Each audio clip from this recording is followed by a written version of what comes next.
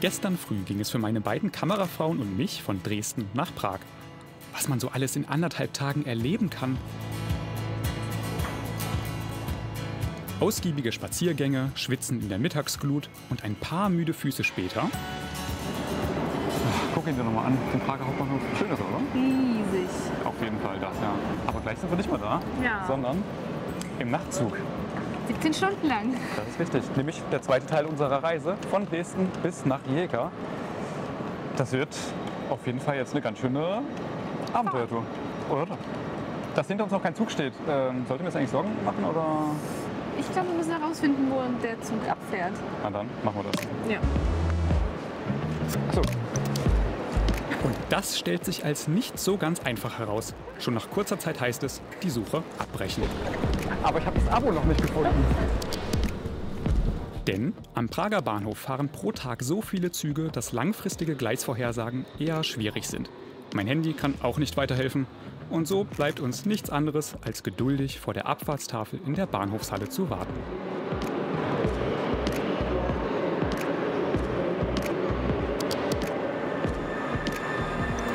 Nachtzug, du bist schon jetzt ein Abenteuer für mich. Zug gefunden, er war auch nicht wirklich zu übersehen.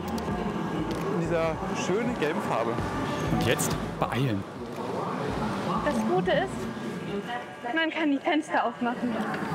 Im Internet stand eigentlich, die Wagen hätten eine Klimaanlage. Wir drei sind Nachtzug-Neulinge. Dementsprechend haben wir so gar keine Ahnung, auf was wir uns da eingelassen haben. Eine wirklich gute Nachricht. Auch hier im Zug ist es unglaublich warm. Noch. Ich hoffe, in dem Abteil gibt es eine Klimaanlage. Da waren die feuchtwarmen 32 Grad draußen noch sehr, sehr angenehm. Und voll ist es. Ich glaube, es war jetzt noch ein Platz frei, den man hätte buchen können vor unserer Fahrt. Mal sehen.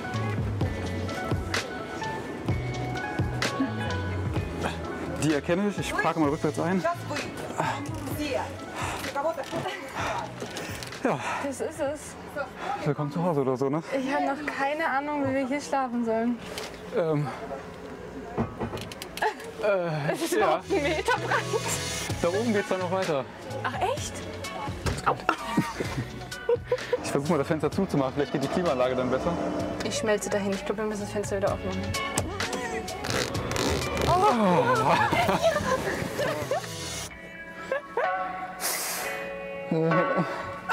Haben wir uns das gut gemacht? Nein. Erstmal die Nerven beruhigen. Ja, guten Tag. Kommt doch herein in unser schönes Abteil. Ähm, Antonia, sag doch mal, was Ja. steht uns hier zur Verfügung? Also, wir sind echt krass aufgestellt. Wir haben ähm, Kissen. Ja. Wir haben tatsächlich, halte ich fest, eine Decke und ein Laken, wo wir uns, das wir hier drauf machen könnten. Ja.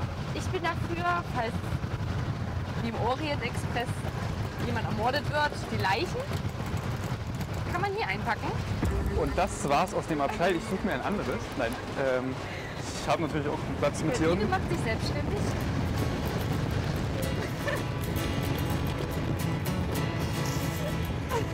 Neben den klappbaren Liegen und den Sitzen unten gibt es oben Stauraum. Im Groben ist es das eigentlich, aber wir haben hier unten natürlich noch die Möglichkeit, ähm, äh, Sachen zu laden. Zwei Steckdosen gibt's. Wir haben jetzt uns äh, ein bisschen vorher Gedanken gemacht und natürlich eine Leerverstopfdose mitgenommen. Auf was warten wir hier, Philipp? Wir warten jetzt auf die Ticketkontrolle. Die gibt's in einer App oder ausgedruckt. Ähm, mit einem QR-Code scheint also gut standardmäßig zu funktionieren, aber ah, ich sehe übrigens, jetzt gerade hat sich auch in der App aktualisiert, wo unser Gleis ist äh, zur Abfahrt. gut, dass wir das auch in Prag schon wussten. Hast du schon eine Ahnung, wo du schlafen willst? Ähm, hier, ziemlich genau hier. Ich frage mich tatsächlich noch, was ich mit diesen Rücklehnen mache. Also ich kann hier einen Tisch draus machen, aber wie ich vielleicht diese Rückbank, nee, das sieht aus, als wäre das fest. Ich liege falsch. Antonia löst das Rätsel. Über die Armlehnen lässt sich die Rückbank ein Stück verschieben. Unter den Sitzen finden wir eine Leiter und einen großen Tisch. Gut, Wenn der aufgebaut ist, ist es wirklich kuschelig im Abteil. Das haben wir für knapp 200 Euro ganz für uns, inklusive eines vorher ausgewählten kleinen Abendessens. Zu unserem Reisezeitpunkt fährt der Nachtzug zweimal pro Woche von Prag bis Rijeka. Unterwegs bringen uns die freundlichen Servicefeen immer wieder kostenloses Wasser direkt an den Platz. Für einen knurrenden Magen oder meinen Hunger auf Snacks haben sie auch etwas. Via Flyer können wir uns zusätzlich was aus einem kleinen Sortiment bestellen. Ich zahle bequem mit dem Handy.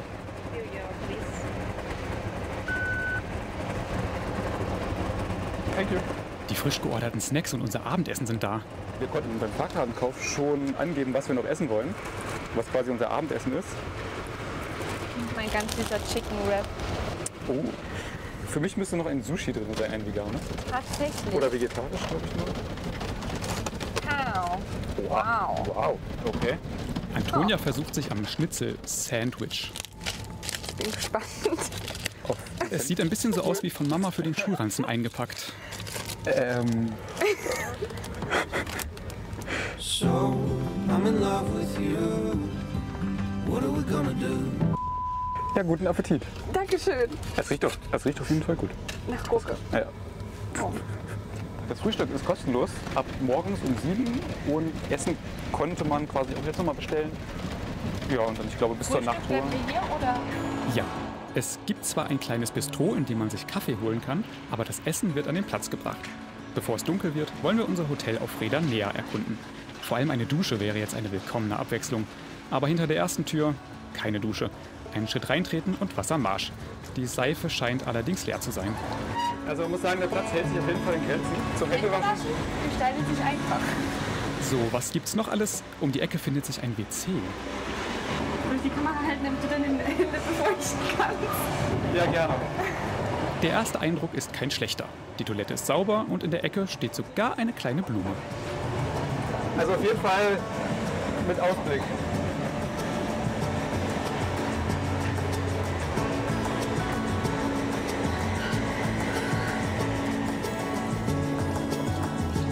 Seife? Nein, hier auch nicht. Ja gut, äh, Wasser ist, äh, ja, reicht ja auch schon.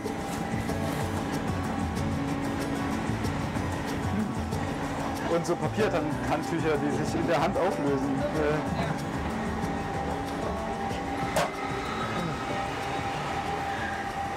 Ich habe keine Ahnung mehr, woher ich die Info mit der Dusche hatte. Also Mission Dusche suchen ist eher mal fehlgeschlagen, würde ich sagen. Man kann sich die Hände waschen, so einigermaßen. Man kann auf Toilette gehen, so einigermaßen. Ähm, Desinfektionsspray mitnehmen ist auf jeden Fall eine sehr, sehr gute Möglichkeit, hier dem vorzubeugen. Dass es mal keine Seife gibt. Eine kleine Packung Feuchttücher. Feuchttücher sind gut. Ja, das stimmt. Für die Hände und fürs Gesicht oder so. Ja. Wollen wir nochmal an die andere Seite gehen? Vielleicht gibt es da doch noch was. Ich muss mich geschlagen geben. In jedem Wagen die gleichen Waschgelegenheiten.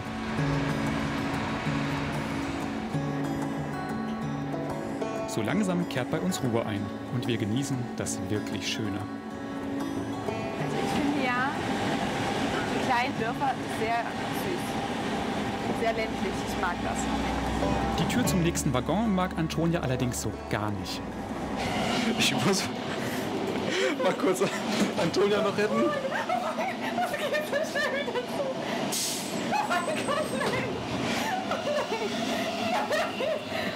Du schaffst das.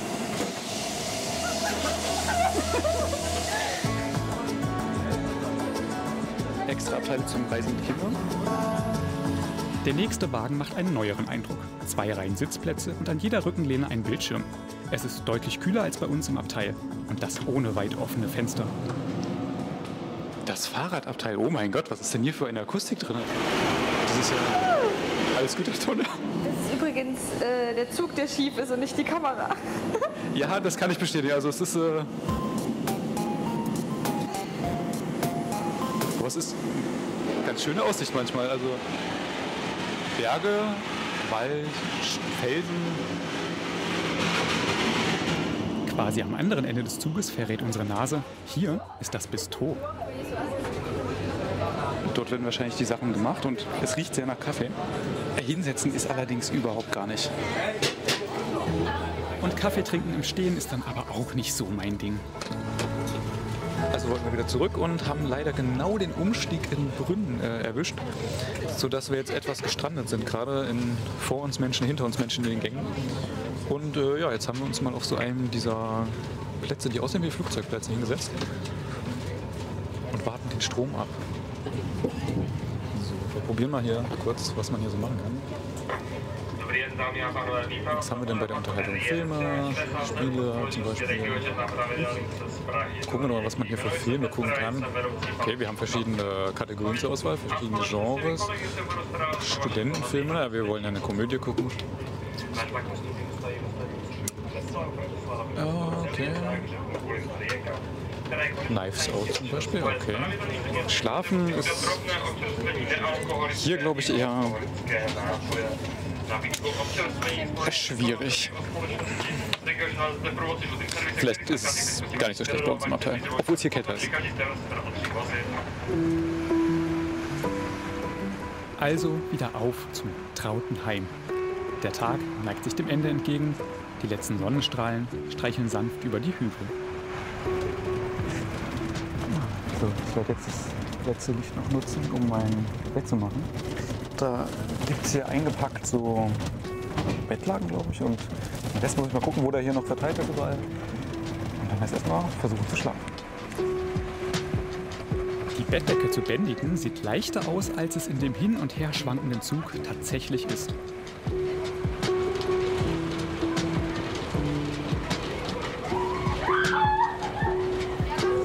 Ab 22 Uhr wird es still werden. Dann ist Nachtruhe. Bis 7 Uhr morgens. Gute Nacht. Während ich so auf meiner Bank liege, wandern meine Augen weiter. Die Lichter der Städte ziehen langsam an unserem Fenster vorbei.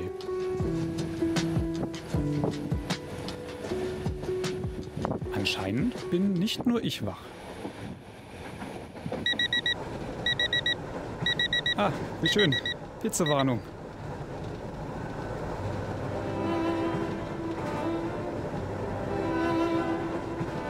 Verträumt kuschel ich mich mit meiner Decke ans Fenster und leiste der Sonne beim Erwachen Gesellschaft.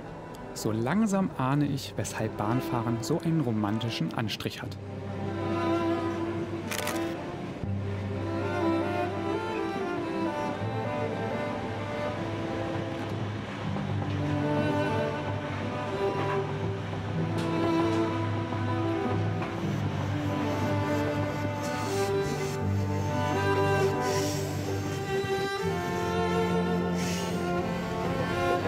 Andächtig genießen wir das Spektakel.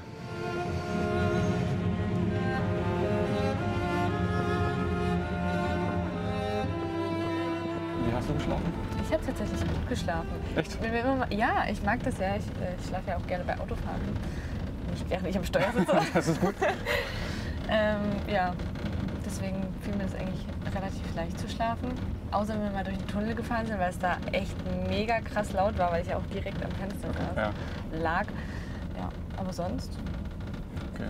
Also ich glaube, habe, wenn ich in meinen Schlaftracking geguckt habe, habe ich 34 Minuten geschlafen diese Nacht. Also irgendwie ähm, ist- dieser ja. Kaffee, äh, den es zum Frühstück dann übrigens gibt. Also es gab einen Kaffee oder Tee und ein Croissant dazu. Ähm, und Wasser. Aber es gab schon gestern. genau. Also das im Paket alles kostenlos, auch äh, während der Fahrt. Ähm, ja, es hilft ein bisschen, aber man muss einen guten Schlaf haben anscheinend, um auch hier in der Nacht schlafen zu können.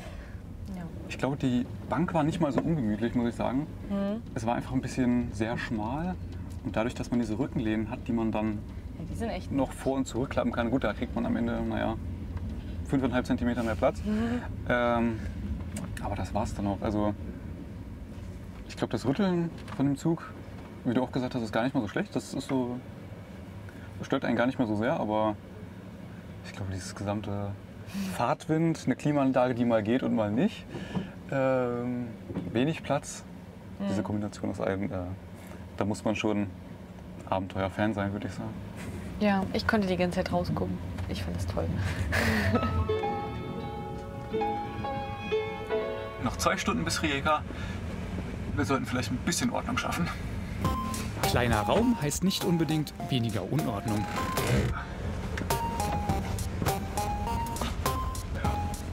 Beim Aufräumen fällt uns der kleine Flyer von gestern wieder in die Hand. Antonia probiert den QR-Code darauf aus. Und siehe da, dahinter verbirgt sich ein Reiseführer für Rijeka. Und den können wir nutzen, um uns ein paar verschiedene Plätze, Sehenswürdigkeiten anzugucken. Und der hilft uns sozusagen durch die Stadt zu finden. Das ist cool. Das heißt, wir ersetzen eigentlich Max jetzt durch eine Maschine in Rijeka. Und das, obwohl er uns so gut mit Sprachnachrichten durch Prag gelotst hatte. Ah ja, das ist. Äh... Tut mir leid, Max. Die Landschaft vor dem Fenster ändert ihren Charakter, je näher wir unserem Ziel kommen. Wäldchen, kleine Hügel und Seen werden zu Bergen, Felsen und Sträuchern. Der lange Zug schlängelt sich Richtung Meer.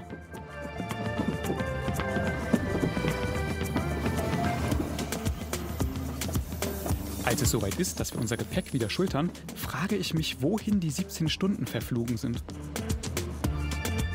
Willkommen in Rijeka.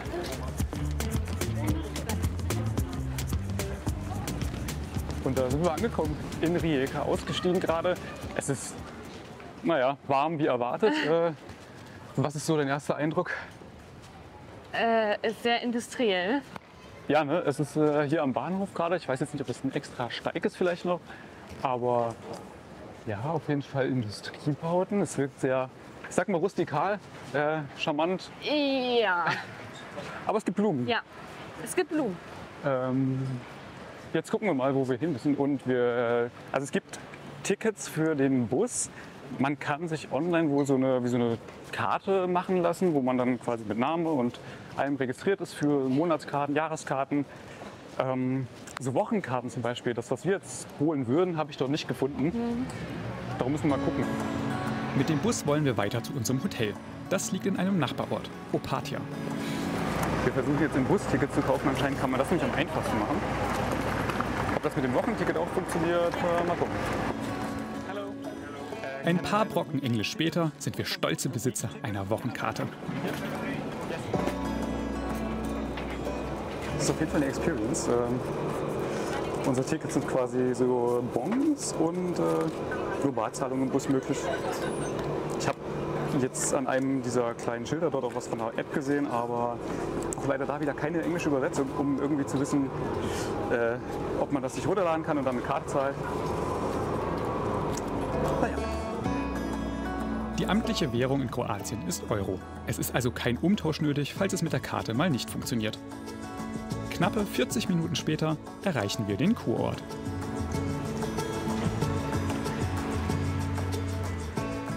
Auf dem Weg zum Hotel kommen wir an einer Menge Villen vorbei, aber ich freue mich gerade nur auf eine Sache. Frische Wäsche.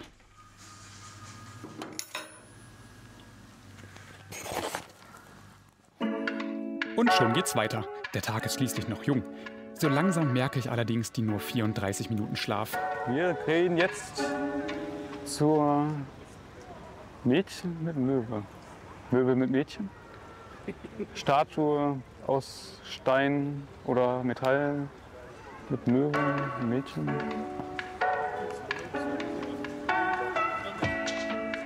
Dieses Mädchen mit Möwe ist die berühmteste Statue Opatias und das Wahrzeichen der Stadt.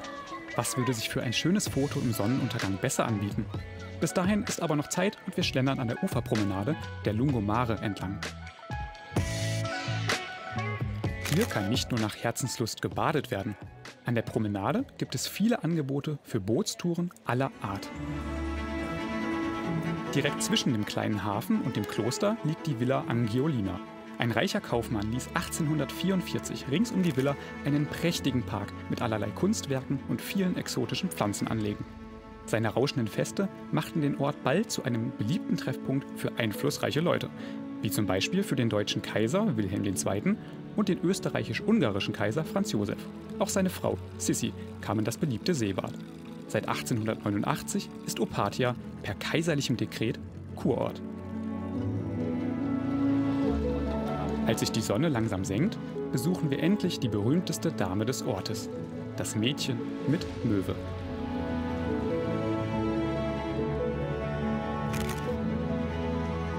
Und nicht nur wir wollen uns den Sonnenuntergang nicht entgehen lassen.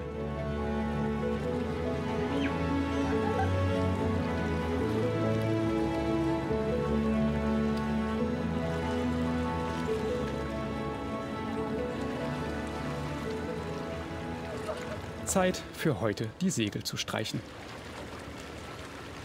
Morgen haben wir viel vor. Auf jeden Fall, da heißt es jetzt ins Bett gehen. Äh, endlich mal wieder ein richtiges Bett. Ja. Da freue ich mich sehr drauf. Und wenn ihr wollt, könnt ihr natürlich sehr gerne dabei sein in der nächsten Folge, wenn wir uns Rijeka angucken. Ja. Auf Na dann, geht's. Los.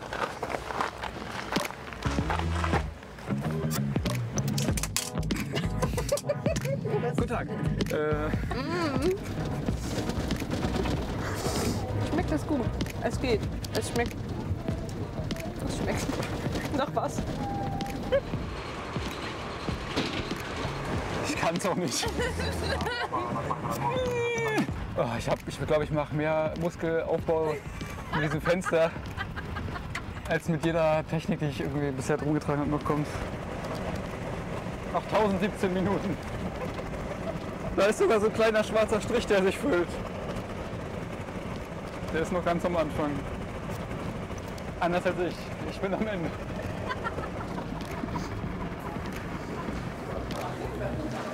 So.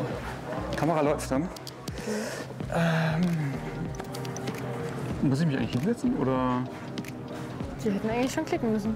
Das hätten wir jetzt eigentlich nur mitkriegen sollen. Das geht bestimmt auch alleine, oder? Also müssen, wir, müssen wir dann hier sitzen? Oder? Eigentlich nicht. Eigentlich, eigentlich sollte das nächste Video schon laufen. Hier drüben. Ach, da meinst du? Ja, da. Aha. Mhm.